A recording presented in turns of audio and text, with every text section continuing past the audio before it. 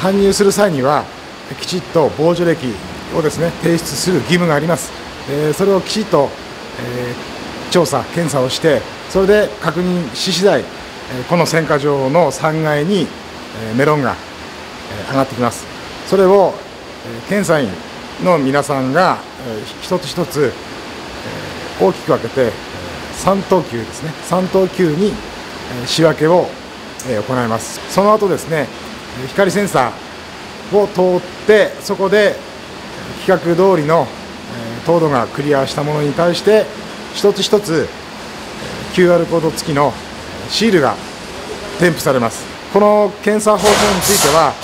茨城県内では個々の JA 茨城朝日村のメロンしか行っておりません。甘くないメロン。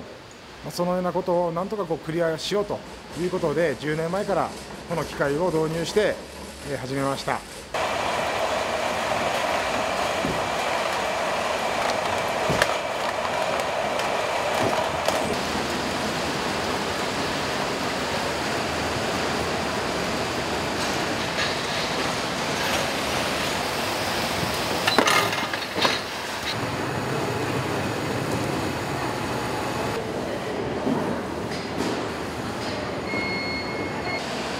の大きさは小ぶりなんですけど、えーと、ネットのでは大変良かったと思います。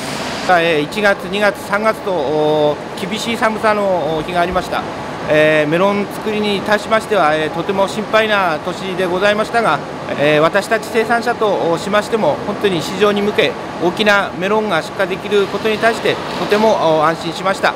えこのメロン、え全国の消費者の皆様に、えーえー、楽しい、えー、笑顔で、えー、食べていただきたいと思うところであります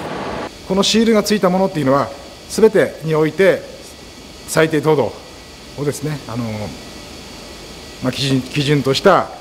メロンですのでまずあの外れは